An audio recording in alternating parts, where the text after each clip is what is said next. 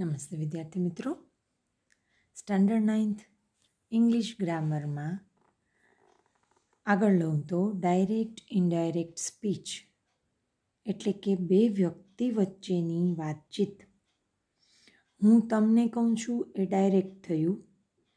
મેં કીધેલું તમે ત્રીજી કોઈ વ્યક્તિને કહો છો તો એ ઇનડાયરેક્ટ થયું એટલે કે પ્રત્યક્ષ અને પરોક્ષ કથન રોજબરોજની આપણે ભાષામાં જે વાતચીતનો, વ્યવહારનો ભાષામાં ઉપયોગ કરીએ છીએ, એ ડાયરેક્ટ ઇનડાયરેક્ટ સ્પીચનો જ એક પ્રકાર છે.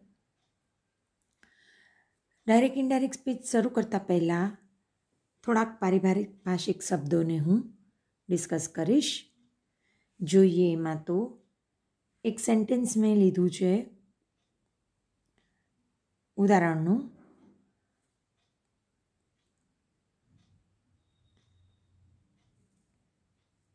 Manoj says to Rita. I like your home. આ એક વાક્ય છે.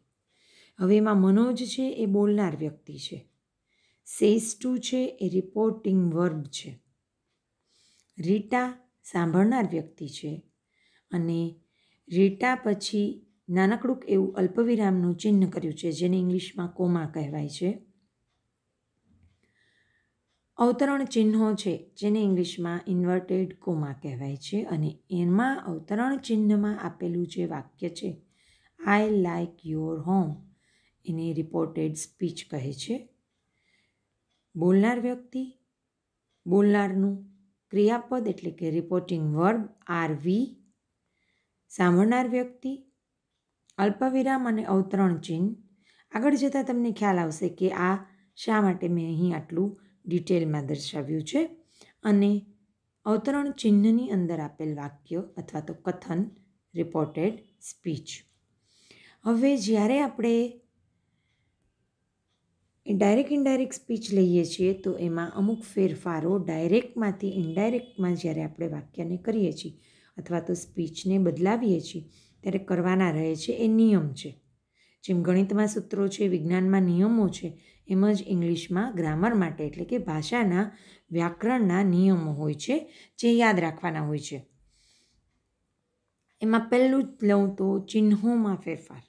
હવે જ્યારે ડાયરેક્ટ સ્પીચમાં પહેલું જે છે ચિહ્નનો ફેરફાર એ લઉં તો બોલનારના શબ્દો ઇન્વર્ટેડ કોમાની વચ્ચે મુકાય છે. જેમ કે અહીં જોઈ શકાય છે કે આઈ લાઇક યોર હોમ તો ઇન્વર્ટેડ કોમાની વચ્ચે મુકાય છે જ્યારે ઇન્ડાયરેક્ટમાં આ જ વાક્ય, એટલે કે આ વાક્યને જ્યારે હું ઇન્ડાયરેક્ટમાં ફેરવું છું તો અવતરણ ચિહ્ન છે એ નીકળી જાય છે.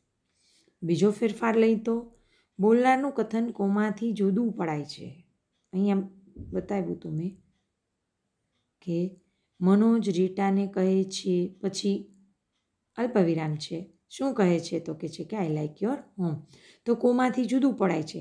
જ્યારે ઇન્ડાયરેક્ટમાં તમે વાક્યને ફેરવો છો તો કોમાં નીકળી જાય અને સંયોજક નિયમ મુજબ મુકાય છે. ત્રીજો ફેરફાર લઉં તો રિપોર્ટેડ સ્પીચનો પ્રથમ અક્ષર કેપિટલ હોય છે. આઈ આઈ તો ગમે ત્યારે કેપિટલ જ આવશે, પણ એની જગ્યાએ બીજો કોઈ પણ શબ્દ હોય તો એ કેપિટલ આવે છે જ્યારે ઇનડાયરેક્ટમાં બીજો સોરી રિપોર્ટેડ સ્પીચનો પ્રથમ અક્ષર બીજી એબીસીડીમાં લખાય છે, એટલે કે સ્મોલ લેટરમાં લખાય છે. સિવાય કે આઈ અથવા કોઈ વ્યક્તિનું નામ. આ બે સિવાયના કોઈ પણ શબ્દો હોય છે, તો એ કેપિટલમાંથી સ્મોલ લેટરમાં થઈ જાય છે. બીજો ફેરફાર લઉં. સર્વનામોમાં ફેરફાર. સર્વનામો જે છે એ હું તમને કહું છું તો હું તમને કહું છું તો તમે થયા, બરાબર છે? તો એના પહેલો બીજો, ત્રીજો પુરુષ એવા સર્વનામોના પુરુષ ત્રણ છે અને એક વચન અને બહુવચન જે તમે જાણો જ છો. હવે એમાં જો ફેરફાર જોઈએ તો પહેલા પુરુષના સર્વનામો જે હોય છે, એટલે કે I me my mine myself જે એક વચનના છે અને we us our ours ourselves બહુવચનના છે. એ પહેલા પુરુષના સર્વનામો તરીકે આપણે જાણીએ છીએ, તો એના ફેરફારો છે એ બોલનારના પુરુષ વચન જાતિ પ્રમાણે બદલાય છે. એક્ઝામ્પલ દ્વારા થોડું ક્લિયર કરીએ તો ડાયરેક્ટમાં આપેલ વાક્ય છે he says I am happy in my village અહીંયા આઈ અને માય બંને પહેલા પુરુષના સર્વનામો છે. બોલનાર કોણ છે? તો હવે પહેલો પુરુષ જ્યારે રિપોર્ટેડ સ્પીચમાં હોય તો એના પુરુષના સર્વનામો છે એ બોલનાર પ્રમાણે થાય. અહીં બોલનાર છે હી.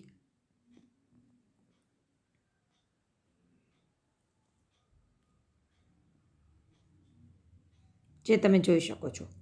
અને આ જે છે એ પહેલો પુરુષ છે જેનું એકવચનનું જ રૂપ આપેલું છે. હવે ઇન્ડાયરેક્ટમાં આપણે કરીએ તો જોઈએ હી સેઝ ધેટ મેં અગાઉ પણ કીધું હતું કે ચિહ્નોમાં ફેરફાર જે છે, તો એમાં ચિહ્નોના ફેરફારમાં કોમા અને ઇન્વર્ટેડ કોમા નીકળી અને સંયોજક લાગી જાય છે. જે તમે જોઈ શકો છો કે કોમા અને ઇન્વર્ટેડ કોમાને બદલે અહીં મેં ધેટ સંયોજક મૂકેલ છે. હી સેઝ ધેટ તે કહે છે કે. શું કહે છે? I am happy in my village હવે આઈ જે છે એ પ્રથમ પુરુષ છે. અને બોલનાર છે હી છે.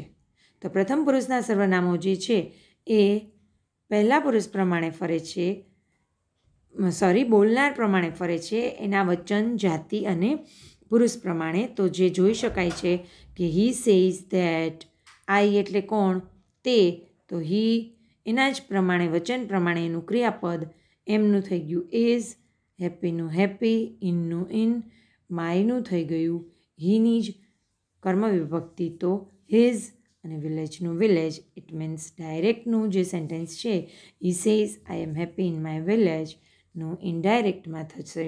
He says that he is happy in his village બીજું હજુ એક એક્ઝામ્પલ લઈએ.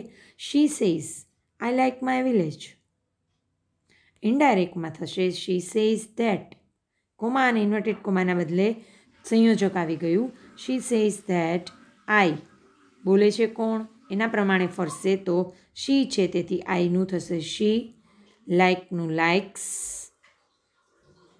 માયનું હર અને વિલેજનું વિલેજ આ થયું પ્રથમ પુરુષના સર્વનામોનો ફેરફાર.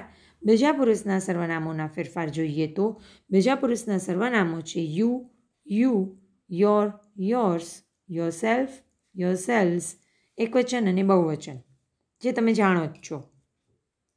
હવે જ્યારે રિપોર્ટેડ સ્પીચમાં બીજા પુરુષના સર્વનામોનું કોઈ વાત થયેલ હોય, વાક્ય આપેલ હોય, તો એના ફેરફારો સાંભળનાર વ્યક્તિ પ્રમાણે થાય છે. પહેલા પુરુષના થાય છે બોલનાર પ્રમાણે, જ્યારે બીજા પુરુષના થાય છે સાંભળનાર પ્રમાણે, જે પણ તમે જોઈ શકો છો. ઉદાહરણ દ્વારા જોઈએ. He says to me you are a good pupil બોલનાર he છે, સાંભળનાર મી છે. He says to me you are a good pupil જ્યારે સાંભળનાર વ્યક્તિ છે અને રિપોર્ટેડ સ્પીચમાં બીજા પુરુષના કોઈ સર્વનામોનો ઉલ્લેખ થયેલો છે, તો ફેરફારો છે એ નિયમ મુજબ સાંભળનાર પ્રમાણે થશે. જોઈએ જવાબ ઇનડાયરેક્ટમાં હી ટેલ્સ મી સેસ ટુનું ટેલ્સ થઈ જશે, જે પણ આગળ હજુ હું સમજાવીશ, થઈ જશે ટેલ્સ મીનું મી કોમા ઇન્વર્ટેડ કોમાનું સંયોજક ધેટ યુનું સાંભળનાર પ્રમાણે મી સર્વનામની વિભક્તિ પ્રમાણે આઈ. આઈ સાથે ક્રિયાપદ એમ. એ ગુડ પ્યુપિલનું જેમનું તેમ એ ગુડ પ્યુપિલ. જવાબ થશે indirect sentence he tells me that I am a good pupil આ થયું બીજા પુરુષના સર્વનામોનો ફેરફાર.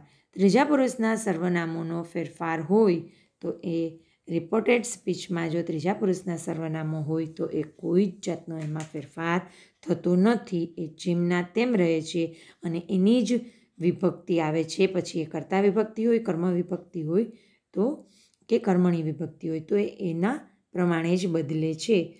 પહેલા પુરુષ અને બીજા પુરુષમાં ફેરફાર થાય છે. અહીં સુધી રાખીએ. એ પછીનું સી જે ફેરફાર છે એ હું આગળ લઉં છું. Thank you